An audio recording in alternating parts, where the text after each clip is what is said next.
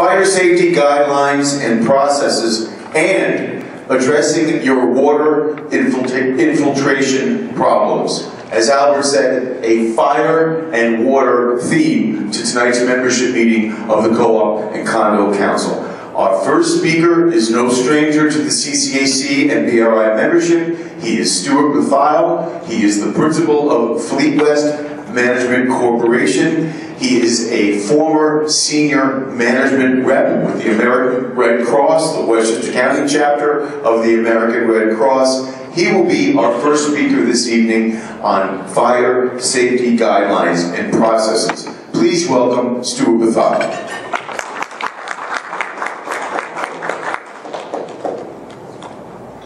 Thanks, Jeff. Thank you, Albert. I'm pleased to be here with you tonight. Um, I'm a former Director of Emergency Services for the Red Cross, and I'll be speaking in, in general terms. You have in front of you uh, a handout. I wish you would please take that up because I'll be following the handout uh, in terms of the items.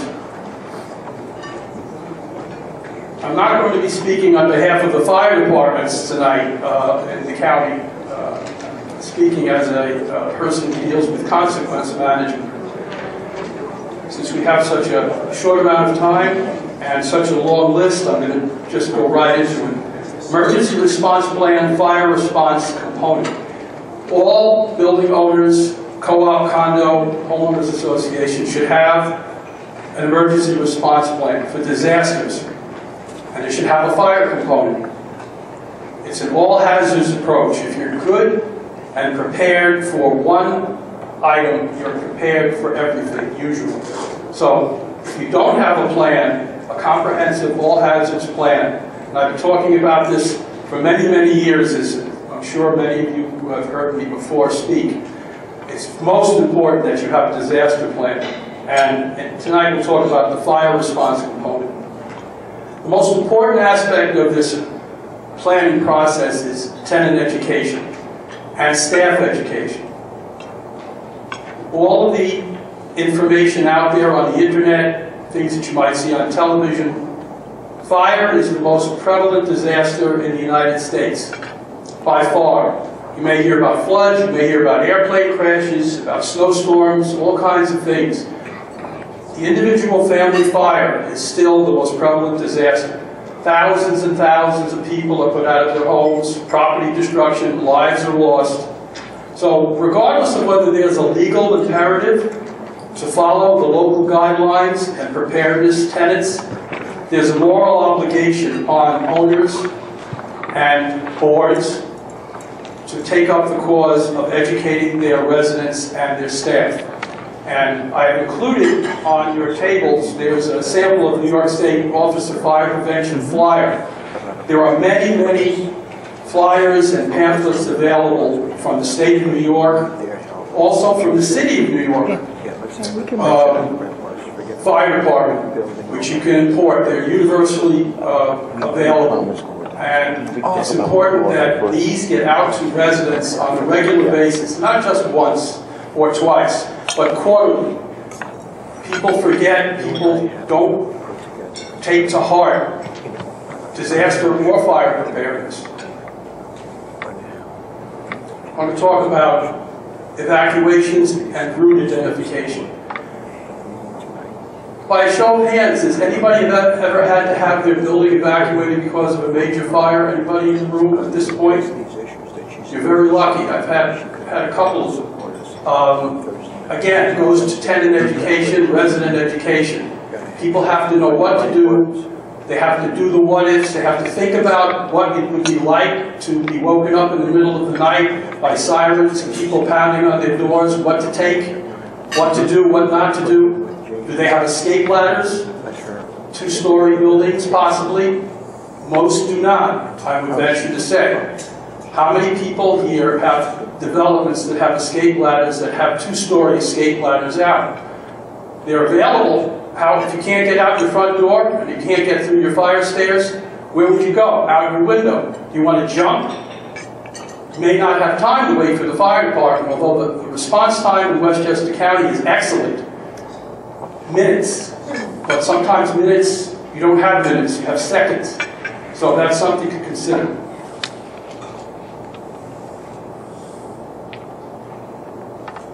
I don't remember whether it's required in New York, or rather in Westchester County yet, because I have been focusing my management and activities city for the last five or six years. Having your apartment designations at the floor level, down below, I'm pretty sure it was passed in Westchester County, but even if it has not yet passed, bringing down the apartment identifications from up above on the door down to the ground, to the, to the floor level, is essential. Because when a building fills up with smoke, where do you go? To the floor, right? That's what you've all been taught. If you smell smoke, you crawl out.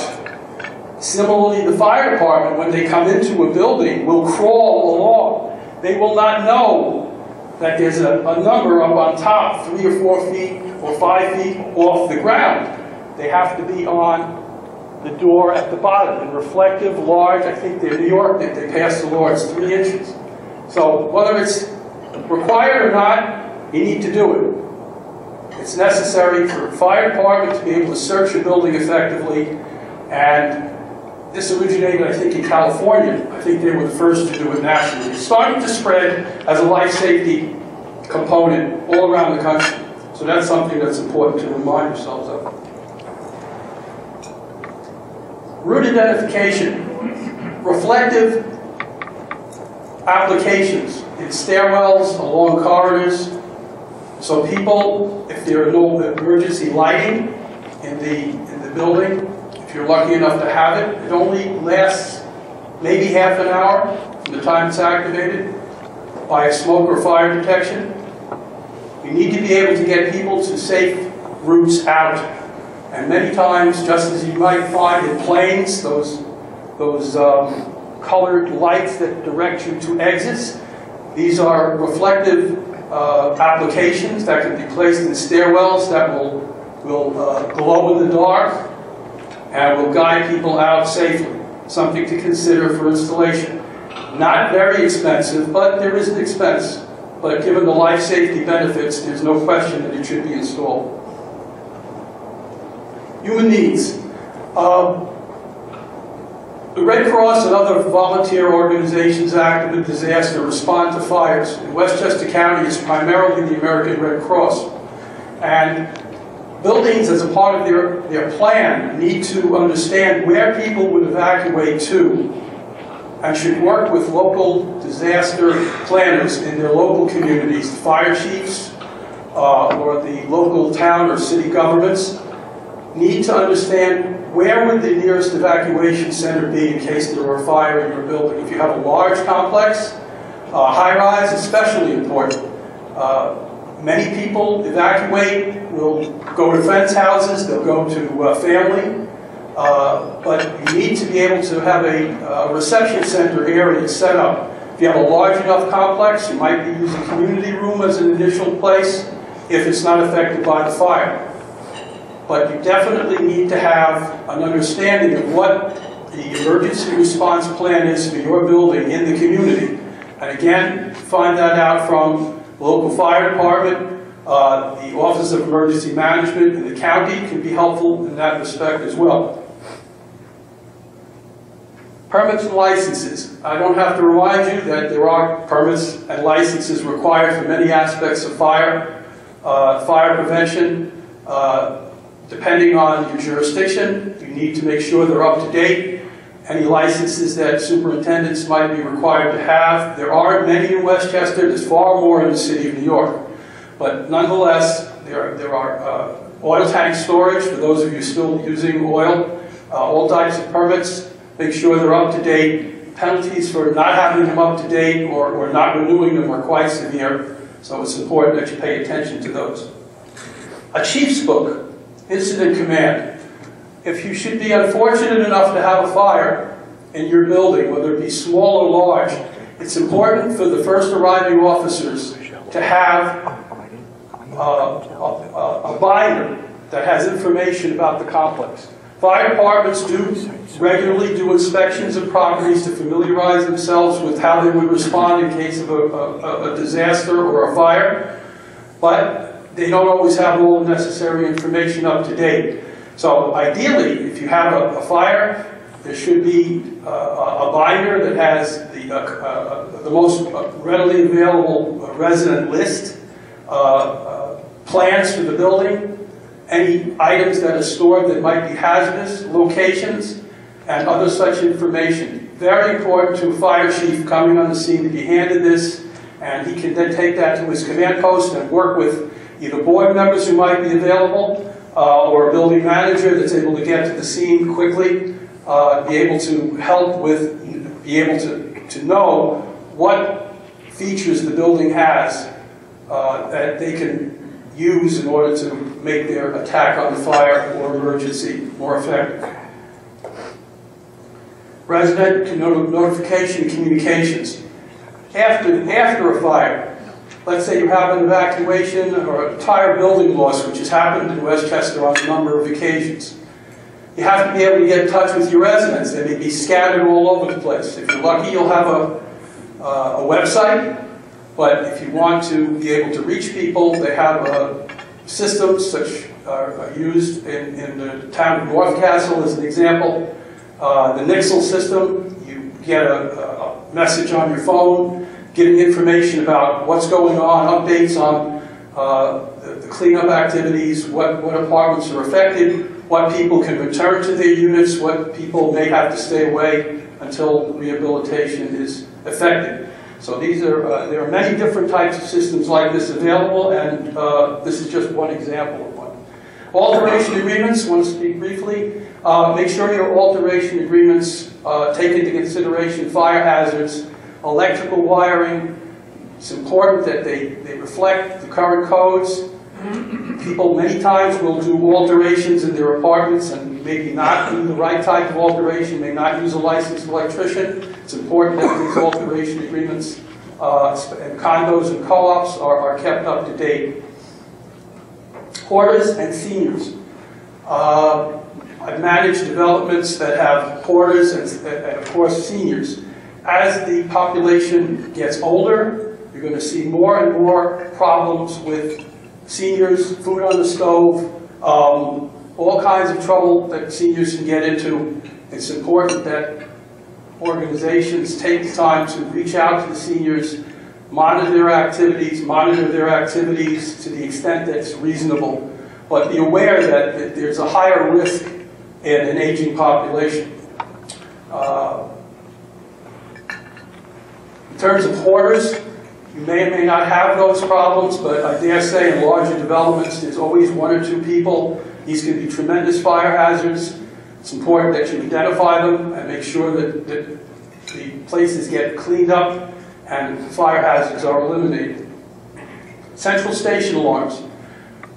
You all probably have smoke alarms as per code in all of your buildings and various places.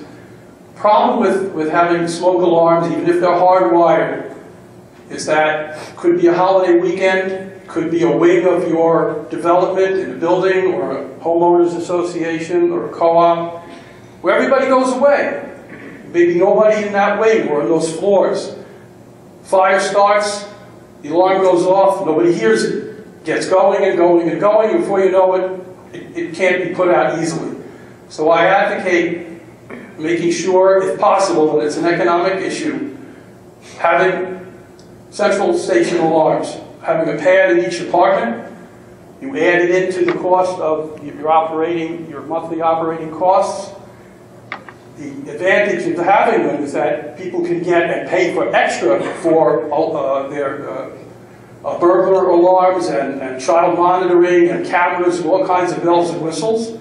But what you'll get is when there's a fire, the fire department gets notified instantly, and they make it, it speeds the response up. Again, it's an economic consideration, but as a life safety issue, it, it, goes miles to dealing with the problem of people not hearing smoke alarms. Of course, I don't have to remind you, educating residents to make sure that they, they change their batteries, which we do every year. We have public service announcements and so on. Still have to maintain uh, that that issue. Residential fire drills, nobody does them. I think I'm the only person in Westchester history to ever have conducted a, a- a residential fire alarm in a, in a, in condo in, in Ardsley. Um, I was lucky that one of the board members' brothers was in the fire department there, and we put together an actual evacuation. Set it up on a Saturday. People evacuated, the fire department went in, the Red Cross responded. It's, res- it's required in New York City, and commercial buildings are required to have fire drills, right? There is no requirement for residential fire drills. Why not? Are commercial buildings more important than residential buildings? I say, if it can be done, and it's a bit of an undertaking, you have a residential fire drill once every X number of years. In larger properties, it's difficult, but not impossible. This was, I think, a 60 or 70 unit uh, uh, condominium. And you can work with the, the county. Uh, I dare say would give you some assistance in helping coordinate this, but it's, it's something that's it's way overdue, and it should be something that, that owners and co-ops and condos consider. Community emergency response team training. I don't know how many of you are familiar with the community emergency response teams. There are about nine of them in the county. You can, in larger developments, or even in smaller ones, buildings, you have a certain number of people trained. It Takes about six weeks. They're trained in all aspects of disaster response. And it's necessary to have these kinds of people in your developments and buildings so that they can assist when the emergency happens. Sooner or later, something's going to happen. So I'm saying that this is important. Fire extinguishers for residents, not required, but essential. And how to use them. Something that should be a part of every building owner and manager and, and co-op or condominium program. Emergency lighting, I said earlier, only good for 30 minutes. You may consider longer need, longer term need for emergency lighting in case you have to light an area um, that's not covered by your existing emergency lighting. One final item, hoverboards. Does everybody know what a hoverboard is? Those little motorized that, that are given to self-destruction and, and blowing up. May have seen them several years ago. Had one in a building out in Queens. Came in, kids brought it in, exploded, completely destroyed the apartment. Could have been prevented if the people had a fire extinguisher. So like they all ran out, of everybody got out perfectly, very, very, very quickly. But they lost the entire uh, two-story uh, uh, uh, co-op unit. So for lack of a simple fire extinguisher, to pull the pin and put it out, you had a couple, maybe $100,000, $150,000 worth of damage. So that being said, I, again, this is a short list. Go on the internet. I urge you to take to heart these items and do what's necessary to protect your, your populations and your buildings. Thank you.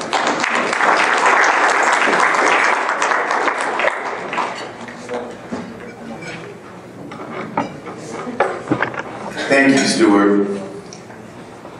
I can say in my 30 years with the Building and Realty Institute, Stuart Betheil is always there for the BRI and its component associations. He has written for Impact, our monthly newspaper. He has spoken at our meetings and seminars. He's come on our radio programs. He is a true ally of the BRI. So, Stuart, once again, thank you for your participation. Speaking of true allies of the BRI, our next speaker is Jason Schiciano. He is co-president of Levitt First Associates, which is the insurance manager of the CCAC, as well as the Building and Realty Institute. Jason is here with his colleague Pat Clare, the director of real estate for Levitt First. Please welcome Jason Schiciano, who, by the way, has done just as Stuart Betheil has done, has written for Impact, our newspaper, has appeared in our radio programs, and has spoken numerous times at our meetings and seminars. Please welcome Jason Schiciano. Uh, thank you for having me this evening. I, I guess I'm going to be kind of a transitional speaker uh, talking about both uh, fire and water uh, because fire and water are probably the two uh, most uh, impactful perils when it comes to insurance, as many of you unfortunately uh, are aware. Uh, water uh, claims certainly are the most prevalent type of claim for insurance, whether it be water through the roof, or water through, uh, through holes in the bricks, or water from the underground, or water from a pipe break.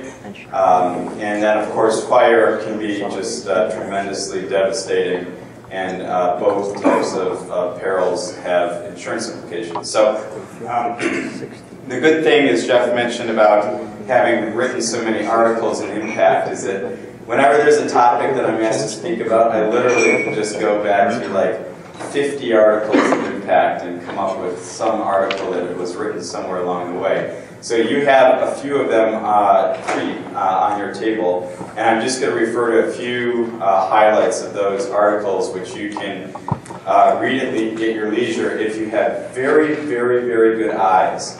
Uh, if not, I encourage you to go onto the BRI website where you can look at elec- electronic copies of uh, the historical impact newsletters, and you will be able to read this probably much easier uh, than from this document. Um, the first one, the first article was uh, how can a recommendation be a requirement, and what will eventually happen if I do if I do not comply. So this article dealt with the fact that many of you that are on uh, uh, co-op boards or are property managers know that your insurance company, your, your package insurance carrier, will come out and do an inspection of your property. Uh, certainly, when you bind coverage with a new carrier, within uh, uh, 30 days, usually that will happen.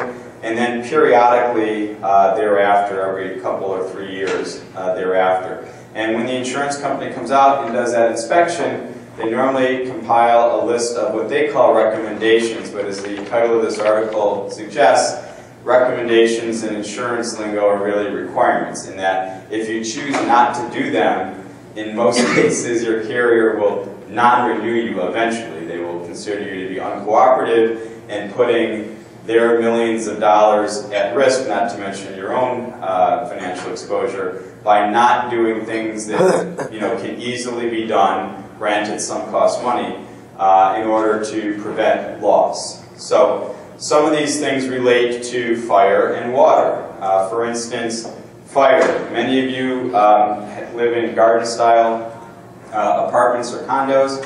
Uh, others of you have um, uh, balconies off your buildings, and you may or may not have uh, allowed barbecue grills or even charcoal grills. So I can just tell you right off the bat, if you have charcoal grills, you probably will get at some point, if you haven't already, a recommendation or requirement by your insurance company to ban charcoal grills. They are just a, um, a, a terror when it comes to potential fire. People, um, they think the coals are out, they dump the kettle, you know, into the flower bed, uh, then the wind kicks up and the embers kick up and it blows onto the building and it starts a fire, or something along those lines. So, you know, barbecue grills, that's one recommendation you might see. Repairing roofs, repairing roof shingles, prevent water from coming in. I mean, we have so much rain and huge storms these days that if you've got uh, you know, uh, potential penetration points for water to come in at your roofs and you're not doing something about that, um, that's an obvious concern that insurance companies get to have and that you should have. Um, the more of these claims that you have drives up your insurance rates. Eventually your insurance company cancels you and then you're going to be paying more for less.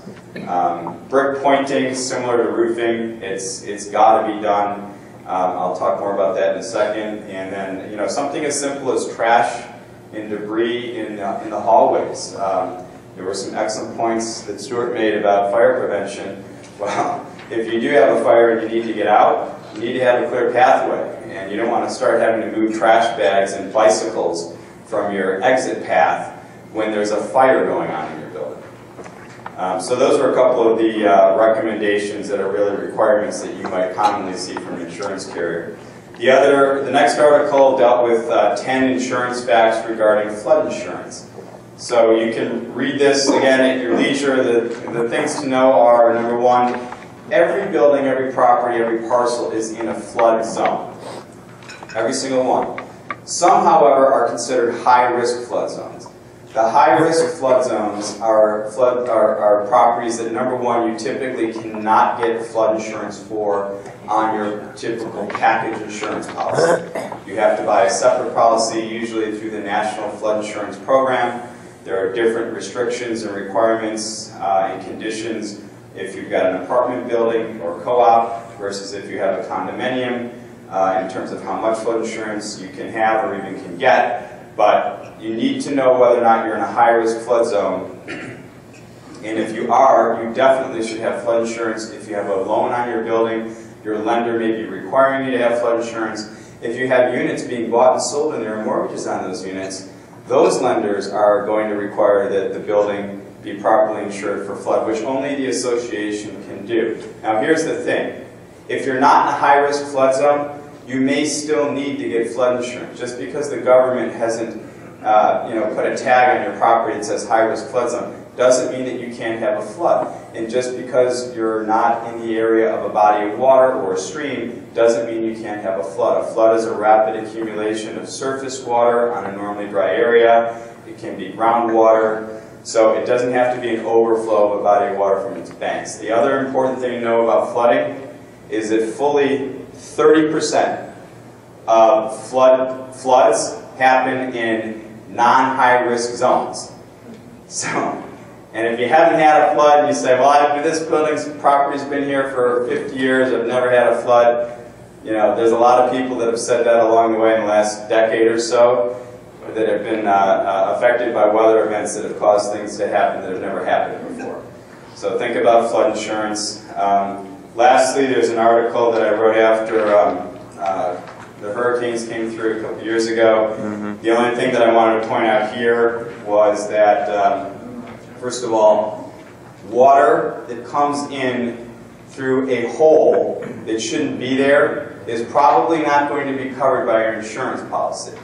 So if you have a hole in your roof that you knew about, it's clearly been there for a while, it didn't happen when the wind blew the shingles off or blew part of the roof up. It was there. There was evidence of seepage, you know, for months and months and months. People were complaining. And then you had a big storm come through and you had water damage. That's probably not going to be covered. Same thing with brick pointing. If you ignore brick pointing and you have what's called wind-driven rain, water is driven, you know, into the side of a building and leaks through through the side of a building, that, that's probably not going to be covered either.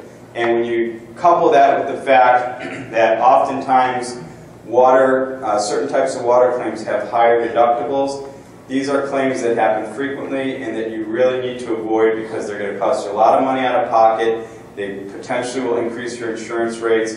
And at the end of the day, you're probably better, it's more cost effective just to do the proper required maintenance, follow the insurance company recommendations, and, and put your building in much better uh, condition. Okay, any questions on any of this stuff? Yes, sir. Well, we might, we want to just hold off on questions until we Oh, have fine. the presentation. Okay, well, thank you very much. Talk to you later.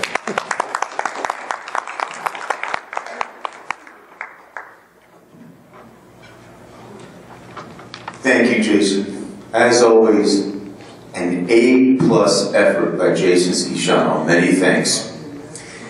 Water infiltration is something that buildings and complexes, as you all know, have to deal with on an almost regular basis. We are very fortunate this evening to have with us Tom Planert, a new member of the Building and Realty Institute, who, who will review what needs to be done when water infiltration problems arise. Tom is the principal of substrate testing, correct, Tom? Substrate, substrate testing, and you're based in? Uh, About Cape Cod. Uh, The company's actually in New Jersey. Okay, a New Jersey-based company that recently joined the Building and Realty Institute. We were very, very happy to Tom, to have Tom join our association.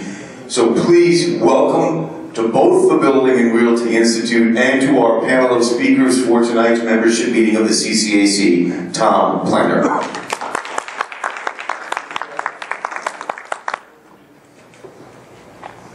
Uh, What I'd like to do is uh, basically give you my background first. Um, I got in the field of uh, chemical grouting about 35 years ago.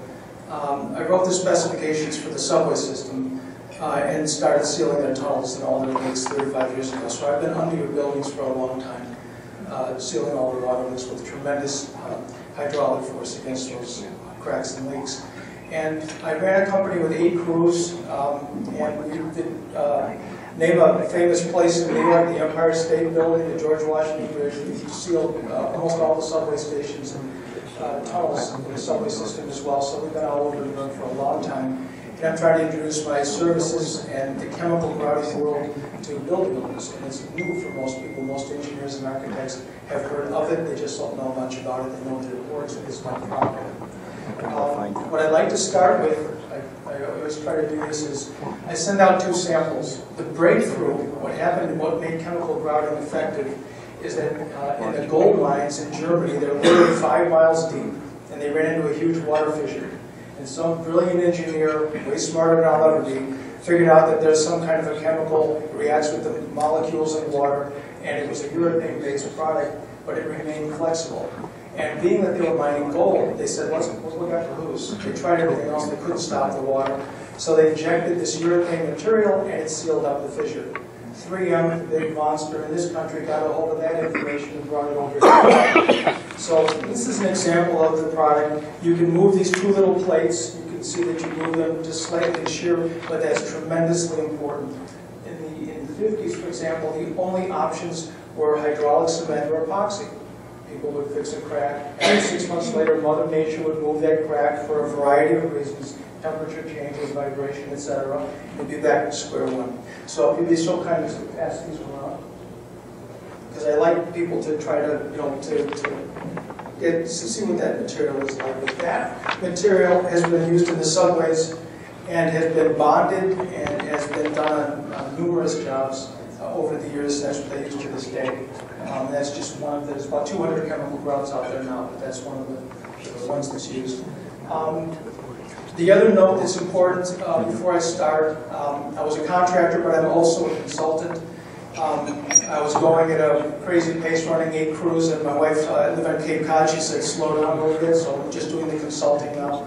Um, But I work with all kinds of building owners uh, that have water-related problems. And most all, as you know, property managers and owners run into a water leak or a crack in concrete eventually or break. Um, So I'm not expecting people to uh, uh, pay attention to this right now as suddenly having a problem. A few of you will, but in general, nine months from now, almost all of you will run into that kind of a headache. So I'd like to be a a resource for you. With that said, I will go through the slideshow fairly quickly. I'm not going to get into a lot of technical. I'm a civil engineer PE, so I can get into the technical with a bunch of engineers, but you're mostly property managers, and and so I'm going to try to go very quickly through this information. The reason I'm even doing this is I want you to understand that it's not simple. You have to understand the substrate first. When they first came out with chemical grouting, first million dollar job in the subway, 23 guys jumped right into it. They went down to Texas, where the manufacturers were, and over the weekend, between cocktails, came out experts in chemical grouting, just ask them. So I would go to the major contractors, the Tullys, the, the Perinis, they're at half my price, what are we doing here?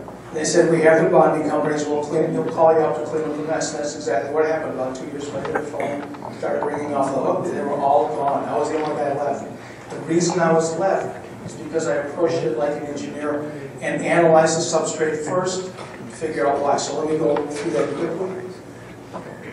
You an idea.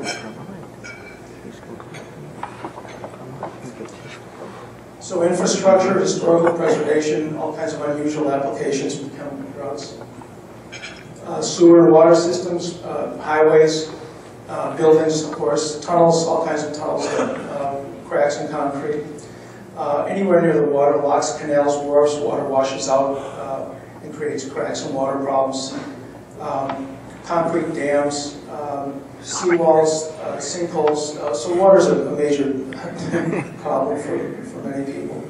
Um, There are different types of grouts, uh, hydrophilic versus hydrophobic. Hydrophilic, it generally means you're pumping one-to-one with water, very simple. Hydrophobic is 3% water. It still needs water, just much less water.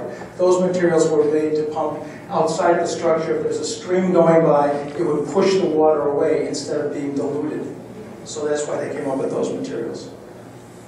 There's A and B type of urethanes. Uh, there's two sides to chemical grouting. One is stopping water. I'm a remedial waterproofer. I'm not a waterproofer. I'm a remedial waterproofer with chemical grouting. The other side to chemical grouting is lifting slabs. If you have a floor slab that's settled, uh, that can be lifted now with chemical grouts back to level.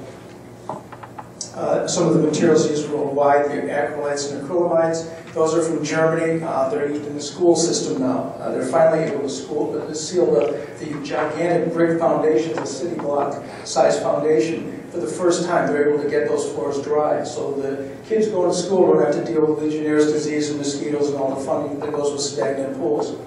Um, Sodium silicates are used worldwide. Cellular concrete, if you have a void the size of this room, and I've had that happen, it's a very lightweight material that can fill up that void and then inject the expensive material. Uh, Bentonite clays from Wyoming, bentonite's been used for a long time uh, to encapsulate, they're very inexpensive. They all have their pluses and minuses. Uh, Considerations with the material, the most common reason for failure of a project is the selection of the wrong material. I've seen so many projects where some guy came down and he pumped a material that's very good at stabilizing soil. It has no business being in a moving crack. It's a rigid material, so people have to know, and that's a big part of it, is finding out which material to use. Uh, With the material selection is what is the intent? Is it a water leak? Are you filling a void on the other side of a wall? Um, Do you have running sand? Uh, There's a number of different things, gushing leaks. You can, you can now see leaks that are coming out of a crack or a hole, uh, like a hydrant. And without even touching the leak, you can inject it and stop that thing. There's grouts that kick off in five seconds and turn into a hockey puck. So you can stop almost any leak nowadays with that. Uh, Some of the different things that I look at, uh, the reason I analyze the substrate, um, is it compatible with the existing materials? Let's say, for example, your waterproofing is a bentonite system. Bentonite is a bond breaker. So you can pump chemical grouts all day long, you're not going to get a seal. You won't get any adhesion to the substrate. So I need to know what's the existing waterproofing, it's just a fast example. Um, the tensile strength, uh, you can be 300 feet uh, down in the ground and seal off water leaks with weak materials like jello, like sodium silicates, because it's PSI everyone thinks of. You're down to a ten thousandth of an inch. There's no area for the force to push against. So I won't get into the technical, I'll try to go faster, but these are the different, different kinds of things I go through. Uh, pH is a big one. The pH will break down the chemical over time if you, if you have a pH below three, for example. Other material, other uh, considerations, some of the chemicals will break down over time if they're dry. The silicates and acrylates will become friable like a peanut butter cookie. The water comes back up and it'll leak again. When I first went to the subway system of New York, they weren't excited. They said, we've already pumped uh, chemical grouts and they leak. One year later, it's, it's, it's, uh, the water comes back to the normal elevation and, and they're leaking. I said, what did you pump? It was the acrylates. They had the wrong material. Um, migrations in question, a lot of people ask me, um, okay, you're going to seal my crack, but is it going to migrate on either way, on either side of the crack? And so I actually do, one of my tests is a migration test. I have the equipment and the pumps, I've been doing it for 35 years. So I'll have a geologist, one of the guys that works with me, he'll inject the crack. If we have thousands of feet of crack to inject because it's migrating, then fine, bring in a contractor with five crews and they'll, they're geared up for something like that, it'll be cost effective. But sometimes the migration test actually seals the leak. That pass out that I, that handout that I just gave you with the before and after on that tunnel, there was a migration test. The client had ice on that ramp. They actually had handrails because people actually slipped and fell on that ramp going down, and that uh, conveyor belt next to it could not be stopped. So it was a very dangerous situation. This is a giant factory that had this situation for years. So we sealed it off. It was a six-foot leak, and the client was very happy. It's the first time in 20 years, he told me, they were able to stop the water coming into that, that area. Um, what's the viscosity? Some grouts work when it's cold, uh, or when it will not work when it's cold out. Um, soil conditions have to be looked at, uh, depending on the, the soil sometimes. Uh, the chemical will not penetrate through the soil. Every now and then, I, I would literally do a field mock-up. The railroads would come to me and say, uh, we need you to, steal, to, to seal our railroad track. So I would build the railroad track. As a contractor, I wanted to do it first, then go in front of my client. So that's the, that was my approach. Uh, just some examples, injection concepts, the basics. Uh, the drill the injection hole, then you flush the hole with water to get it wet. The chemicals actually need water. An easy leak is a gusher for us. A difficult leak is a leak that doesn't have much water. So we'll actually pump water in first to get it wet to make sure the chemical reacts with it. Um, you set an injection port, uh, inject the crack. So here's a gentleman, he's got a drill, he's uh, drilling into the hole, intersect the shear plane of the crack, usually about six inches deep. They have drill rigs that can do this when you're making a, cut, a cut-off wall in the soil. These are the ports, these are installed in the drill hole, for example, um, and they each have their place, and bottom line is uh, the chemical can be injected through these up to about 3,000 psi. At 3,000 psi, the chemical will come out of the crack, it will hit you in the eye before you can blink. It will go through your skin and react with moisture. So it'll start going up your arm and start expanding. So it gets exciting if you don't have people that don't know what they're doing. Uh, these are sleeve pipes. Uh, these are used to inject soil. Pipe on the far right was used in the tunnel between, uh, sorry, between France and England, the channel. They would make a pour. They would inject a perforated pipe, uh, uh, uh, staple a perforated pipe onto the concrete, make the next pour, wait 30 days for the concrete to get some strength, and then they would inject into that perforated pipe. The reason they use them is that if they missed a spot, they could re-inject it. Uh, some of the equipment, needle pipes are used, uh, they're very convenient sometimes. Um, the pumps, um, in this business, the moisture in this room would set off a pump. So the grouts are very reactive with water. So I can't tell you how many large general contractors would call me and say, well, Tom, we've got five pumps to sell you. What happened was they tried to get into the business not knowing what they're doing, the pump set up. I've, I've pumped cements, I've pumped bentonites, I've pumped all the other materials, you can chip them out. Not the chemical grouts, they're like a hockey puck, if the pump is done. They now have pumps that are one-to-one ratio. Uh, These pumps are used with computers, which is nice. If you've got to be exactly at one-to-one and you go off by, you know, one percent at four o'clock in the morning when the laborers are tired, etc., you can destroy the whole job. You can pump all that grout, it doesn't do what it's supposed to. So the computer on that pump will actually shut it off, which is a nice thing as an owner. Sometimes you want to fill up with a, uh, an area like this with cement, these piston pumps will do that. Radar is used quite often, uh, so how big is the void on the other side of the wall?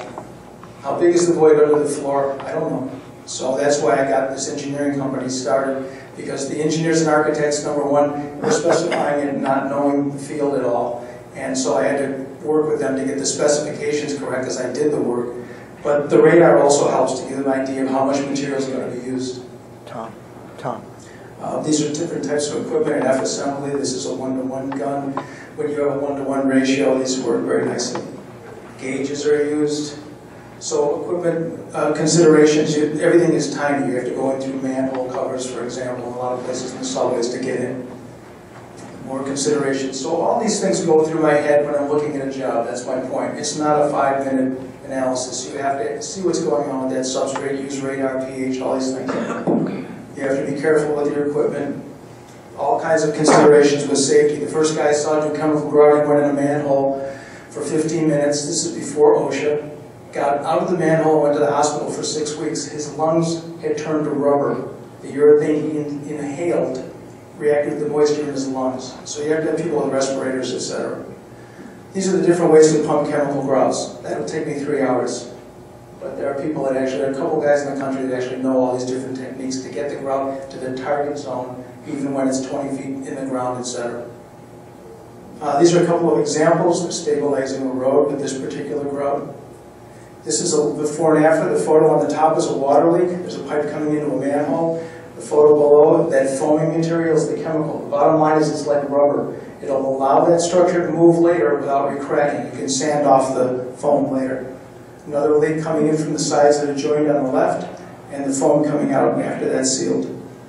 Parking garage with a a sprinkler coming out of the floor, and on the right, that's the, the chemical uh, that's not unsealed.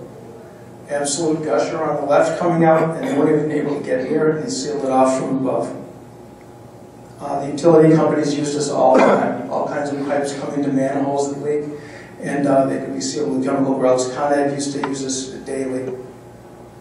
Brick walls can now be sealed. As I mentioned, the acrylates, you can now make a membrane between the soil and the structure. Sometimes they're used to fill voids.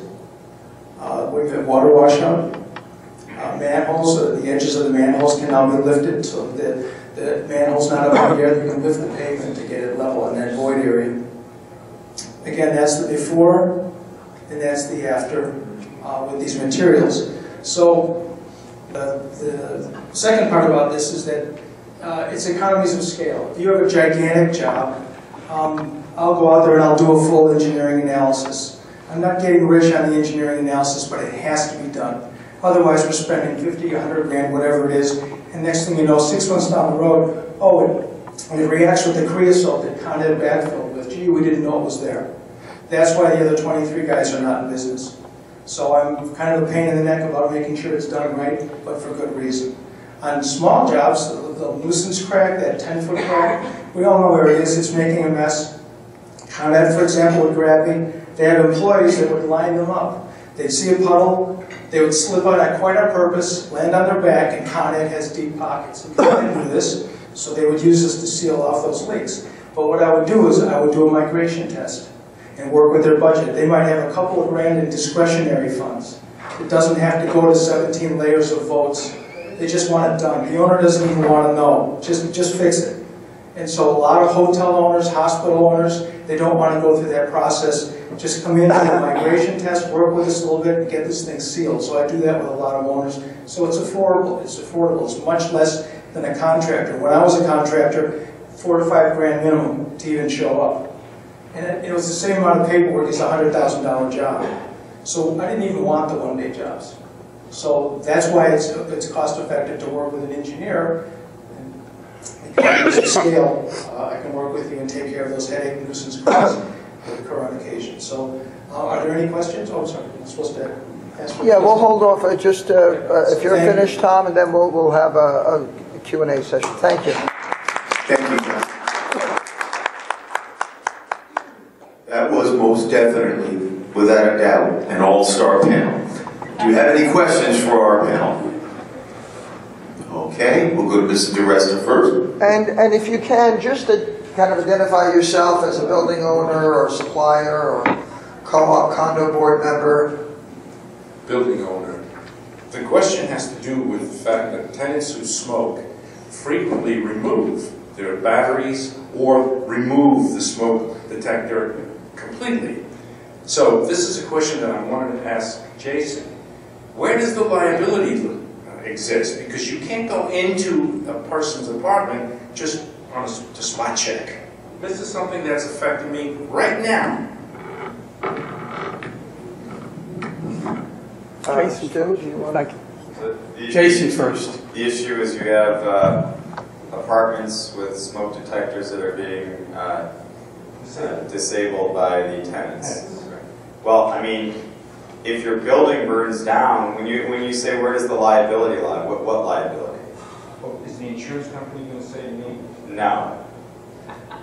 No, not unless you have a condition in your policy that says that, you know, if smoke detectors are disabled, we will not pay for the insurance claim, but that's very rare. Have you ever seen that? Yeah, I don't, I don't think.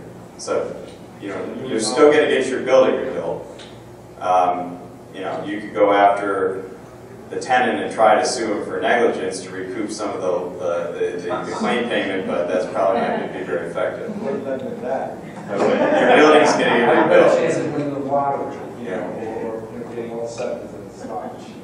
There's the- There, if I might, if I might add to that, um, from a practical point of view, uh, hardwired smoke detectors, or better, the panels that I described, they can be designed so that if someone tries to disable them, central station will be notified, and you'll know that the tenant has disabled. That's one way. The other way is to educate people to the fact that they're, they're endangering their lives and the lives of others. And it's a hard sell to do because some people just don't care. But you have to keep up the battle because there's a moral responsibility to try as owners and, and board members to do this. So those are two things I would suggest, education and central station laws. Okay, we're going to go next to Mary Milan of Bronxville Gardens, correct? Hi, I'm co-op treasurer. Uh, This is a similar question. Um, We all have people in our buildings who do renovations, and we all have rules about, you know, City of Yonkers licenses and Westchester licenses. Um, If that gets um, overlooked and somebody does not have the right contract or the right uh, license and causes a fire in their apartment, which in turn causes a fire for the whole building, is that on the board or the uh, managing agent who has not made sure that those requirements are met? And will, and the question like is, will the insurance company then say, no, you didn't follow up on your due diligence and we're not gonna cover the building? Okay, so once again, you're not, your insurance company, if it's a standard and typical company that insures condos and co-ops around you, is not going to uh, decline to rebuild your building after a fire caused by a tenant's contractor. You- You'll get your building rebuilt. The, the, the important thing um, is number one, um, once your building is rebuilt, can your insurance company go back after the contractor that was liable for negligent in causing the fire? And the answer is only if that contractor has good insurance. So that gets to the, the point of how, how do you control access to contractors coming on the property to do work inside of the, the units or the apartments, and how do you review their insurance? And this is a very long and complicated uh, topic, and I'm happy you can call me and we can discuss it further. But what I will tell you is, buildings in New York City, nobody gets into a building in a nice, you know, well-run, man- well-managed building in New York City uh, to do renovation work without tons of paperwork and proof that they've got insurance, the right amount of insurance and everything else. But it's easier to do because there's one way of getting into a building, the front door.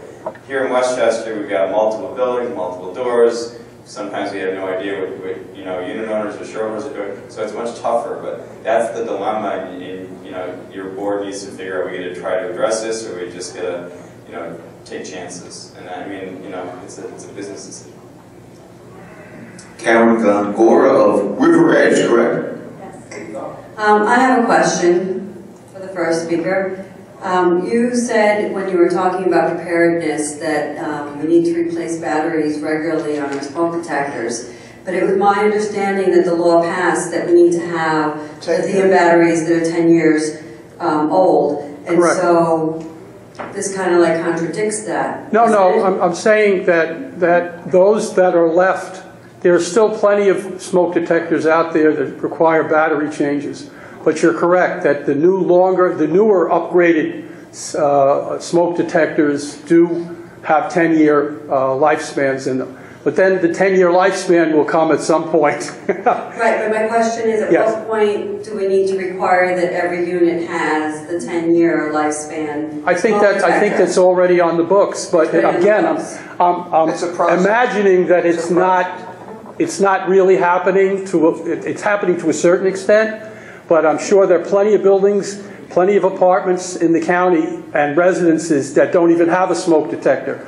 We've all heard of fire departments responding to fires, found smoke detectors absent or not working, and loss of life has occurred.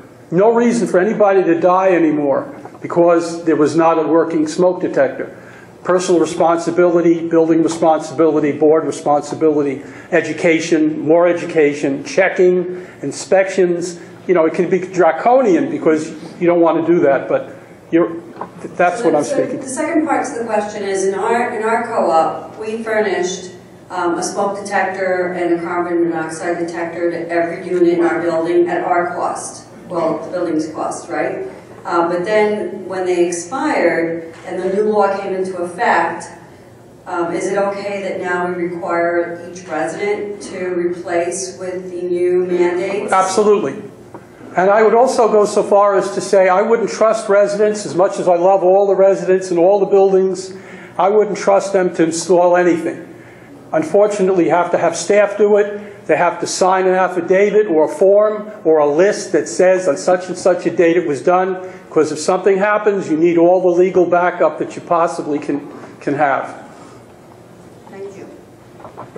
Any other questions? We have this gentleman. From Longview Owners in Portchester, a new co-op member of our organization. Here you are, sir. Thank you. Uh, I have a couple, of- excuse me, I have a couple of questions for Mr. Flannery. Um, we have uh, leakage in our elevator pit. Do you handle that? Yes. Um, Also, um, on our terraces, we have the railings going into cement. And, and where, where the railings go into the uh, cement, there's rust around the area. and we're told that the rust extends to the I-beams Right. that um, the the railings are uh, attached to. Could you do anything with that? Uh, Yes, chemical grouts can be used to stop water from getting to steel. As a matter of fact, uh, on all the structures, parking decks, etc., anywhere you have a crack, the water's coming through that crack, and all of the corrosion that goes along the entire rebar is now concentrating right at that spot, so it's accelerating. So chemical grouts are used to slow down that process and minimize the amount of water uh, to get to that, to that location. And there are also, um, there are also materials that can be used um, that will stop the corrosion rate from, let's say, 90% down to 3%. Uh, Those materials actually came over from Russia when the wall came down. The Russians had this material, and they brought it over to the US, and the bridge engineers, with all the corrosion on the typical overpass bridge you see, said, you know, we don't believe you. And I didn't blame them, I'm the same typical engineer, I don't believe them at all, prove it. And they did. So there are materials now that can deal with corrosion very well. Okay, Thank you. If I might just add one thing is from a management perspective, um, I worked in a development, for a development that had tremendous terrace issues with uh, railings. They literally had to rip out the faces of all of the terraces and reinstall all of the railings. So the point is, don't let cracks start. Maintain terraces, waterproof them as necessary, because the prevention is worth the pound of cure, you know, an ounce of prevention. So that, that's from a management perspective. You have to have a program. Don't, don't ignore terrace issues in general because they come back to bite you later on in tremendous amounts of money. We had a co-op uh, past few years, I think it was in White Plains, and they let the corrosion go on their, uh, uh, on their uh, iron, ter- wrought iron terraces, whatever, and they had to replace the whole thing. Uh, Just, just letting it go, letting it go, again, an ounce of prevention is worth a pound of cure. It's like, it's like, you know, you let infrastructure go until, until it becomes uh, exorbitant to, to fix. We, we got an estimate of a little over $6 million to fix it. That's right. All right, we have time for a couple of more uh, questions. Uh, uh, Gene? Uh, we, we, wait, wait for the mic, Gene. Here's the mic. Here's the mic. Here's the mic. Um, Uh, no, use the mic because, in all fairness, yeah. Hello. Prefer Joe. Question. Does your system work to repair um, cracked sewer pipe as an alternative to a liner?